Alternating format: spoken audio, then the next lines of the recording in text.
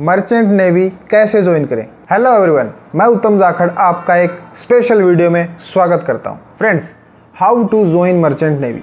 अगर आप tenth pass हैं ट्वेल्थ पास हैं, या फिर आपने ग्रेजुएशन कर रखी है, इस वीडियो में कवर करेंगे आपको कौन सा कोर्स करना है, कौन से इंस्टीट्यूट से करना है, ताकि आपको प्लेसमेंट मिले, क्योंकि एंड ऑफ़ द डे आप कोर्स कर रहे हैं प्लेसमेंट के लिए। और आपकी सैलरी क्या होगी? फ्रेंड्स इस वीडियो में अंत तक जुड़े रहिएगा। आपको मैं कंप्लीट बताऊँगा कि आपको मर्चेंट नेवी कैसे ज्वाइन करनी है। अगर आप चैनल पर फ़र्स्ट टाइम विज़िट कर रहे हैं सब्सक्राइब करें। लेट्स स्टार्ट फ्रेंड्स सबसे पहले मर्चेंट नेवी इंडियन नेवी क्या होते हैं? Indian navy and merchant navy दोनों कंप्लीटली डिफरेंट है।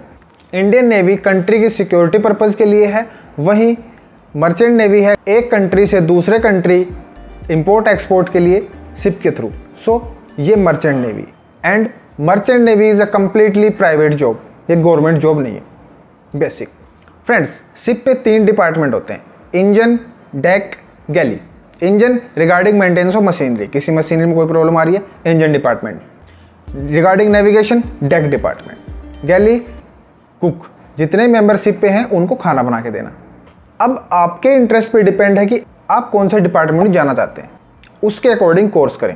अगर आपको इंजन में इंटरेस्ट है इंजन डेक गैली आपके अकॉर्डिंग फर्दर फ्रेंड्स अब आप कौन सा कोर्स करें मर्चेंट नेवी ज्वाइन करने के लिए? फ़र्स्ट केस अगर आप टेंथ पास हैं या फिर आपने ट्वेल्थ कर रखी आर्ट या कॉमर्स से तो आप कोर्स कर सकते हैं C C M C certificate course in time catering catering side के लिए या फिर आप जी पी रेटिंग कोर्स भी कर सकते हैं रेटिंग साइड के लिए।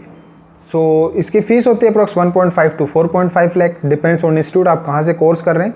Make sure friends DG approved institute से ही कोर्स करें और एज लिमिट होती है 17.5 टू 25 ईयर्स जीपी रेटिंग का। और अगर आप अच्छे इंस्टीट्यूट से करेंगे, अच्छी कंपनी मिलेगी, अच्छी सैलरी मिलेगी। और सेफ्टी एंड सिक्योरिटी अच्छी होगी। Next that is after twelfth अगर आपने ट्वेल्थ कर रखी है साइंस साइड से फिजिक्स केमिस्ट्री मैथ में आपके मोर देन 60 परसेंट मार्क्स हैं। आप जा सकते हैं आई एम यू एग्ज़ाम के लिए, जो कि कॉमन एंट्रेंस एग्ज़ाम होता है मर्चेंट नेवी का। इसमें आपकी रैंक आएगी। उसके अकॉर्डिंग आप कोर्स कर सकते हैं DNS diploma in nautical science BSc या फिर बीटेक मराइन इंजीनियरिंग डीएनएस और BSc nautical science deck side के लिए बीटेक मराइन इंजीनियरिंग आप इंजन साइड जा सकते हैं। अगेन डीजी अप्रूव्ड इंस्टीट्यूट से करें और डीएनएस कर रहे हैं तो मेक श्योर फ्रेंड्स स्पॉन्सरशिप ज़रूर लें। स्पॉन्सरशिप के बिना डीएनएस कोर्स बिल्कुल ना करें। आई एम एग्ज़ाम देने की एज लिमिट होती है मैक्सिमम ट्वेंटी फाइव ईयर्स उस एज लिमिट तक आप अटैम्प्ट कर सकते हैं। अगर आपका फ़र्स्ट टाइम में अच्छी रैंक नहीं सेकेंड टाइम एंट्रेंस एग्ज़ाम के लिए जा सकते हैं। Because it's a common entrance exam second D की फ़ीस अप्रोक्स पाँच से सात आठ लाख तक होती है।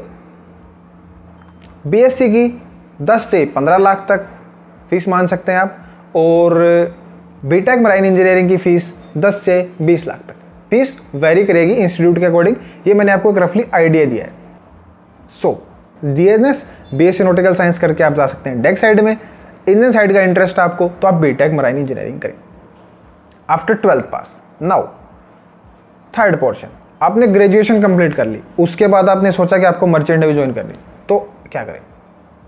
फ़र्स्ट आपकी ग्रेजुएशन दो चीज़ में होनी चाहिए। या तो आपने बी या फिर बी टेक मैकेनिकल साइड से कर रखा हो।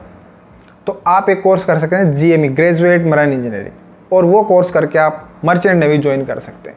जीएमई की age limit maximum twenty eight year होती है और जीएमई कोर्स करके फिर आप मर्चेंट नेवी ज्वाइन कर सकते हैं इंजन साइड में। अगर आपने ग्रेजुएशन कर रखी है इलेक्ट्रिकल साइड से डिप्लोमा या फिर बी या बी तो आप कोर्स कर सकते हैं E T electro technical officer maximum age limit है इस कोर्स की थर्टी फाइव आप ये कोर्स कर सकते हैं और आप मर्चेंट नेवी ज्वाइन कर सकते हैं as a E T friends ये था एक बेसिक वीडियो आप मर्चेंट नेवी ज्वाइन कैसे करें।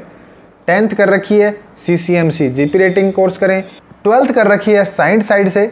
I M U C T exam के लिए जाएँ, अच्छी रैंक लें, फिर D N S B S C या फिर B tech marine engineering course करें। थर्ड अगर आप ग्रेजुएशन है इलेक्ट्रिकल या फिर मैकेनिकल साइड से तो आप ई e या फिर जी कोर्स e कर सकते हैं। इस वे में आप मर्चेंट ज्वाइन कर सकते हैं। और फ्रेंड्स बात रही सैलरी की। फ्रेंड्स सैलरी अच्छी होगी। अगर आप सही रास्ते से मर्चेंट में जाएँगे अच्छी कंपनी मिलेगी, अच्छी सैलरी होगी और सेफ्टी स्टैंडर्ड्स भी अच्छे होंगे। फ्रेंड्स, ये एक बेसिक वीडियो था आपको जस्ट आइडिया देने के लिए कि आप कैसे ज्वाइन करें।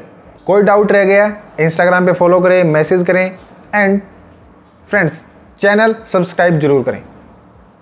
Thank you friends